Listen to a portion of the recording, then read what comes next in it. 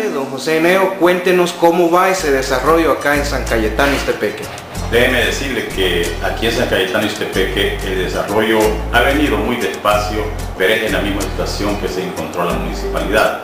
Pero con el esfuerzo, primero con la fe puesta en Dios y con mi consejo municipal, que es un equipo de trabajo, pensamos y estamos seguros que aunque sea despacio tenemos que salir adelante porque el municipio de San Cayetano Ixtepeque lo merece. Como puede ver usted, usted se ha acercado a esta municipalidad, usted no ve colores. Este es su servidor, lo que quiere es trabajar en el bien de toda la municipalidad y por eso no se está viendo colores tanto mi persona como mi consejo.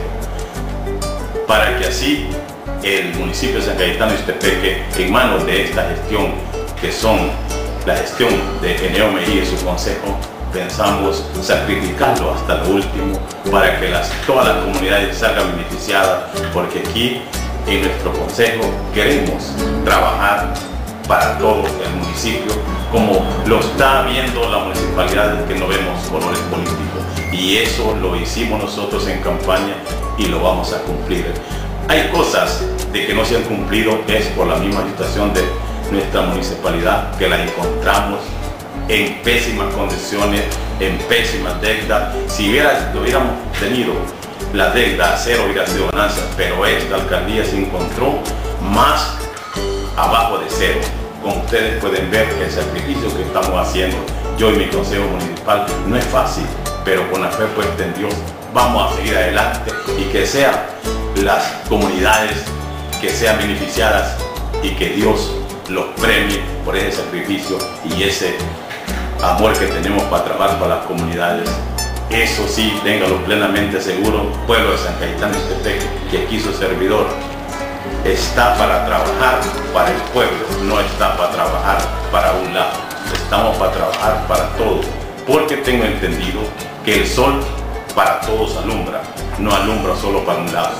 Así es que aquí nuestro Consejo Municipal lo que quiere un buen desarrollo, pero tengan paciencia que a través de estos meses van a ver el desarrollo que ustedes esperan y ustedes tuvieron confianza en mi persona y en mi consejo que sí íbamos a sacar adelante. Y como les vuelvo a repetir, prometimos muchas cosas en campaña, pero no nos dábamos cuenta cómo se encontraba la municipalidad.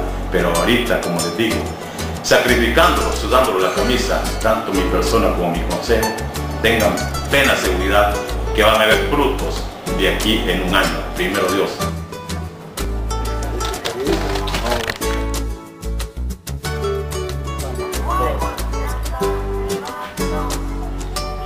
Don Florentino, estamos acá en la iglesia del Cantón Candelaria. Me cuentan que usted fue la persona que donó, ¿verdad? Eh, parte del terreno. Cuénteme, ¿por qué lo hizo? Ah, ¿Cuál fue su iniciativa? Por la necesidad que vimos después de que había pasado el, el terremoto del 2001. ¿va? Y queríamos extender el- la iglesia que fuera más grande.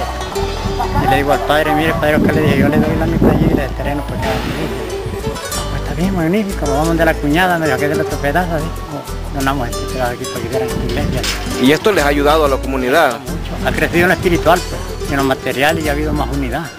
Porque toda la comunidad ha trabajado unida y ligera. años y entonces, pero ha sido la misma comunidad porque uno, uno ha aportado los que estamos aquí y otros de los que están en Estados Unidos, pero son de la misma comunidad. Así como ha embellecido el templo aquí. Y deseo que se encuentren bien, vea, en los Estados Unidos. pues. De parte mía, pues, les mando ese saludo.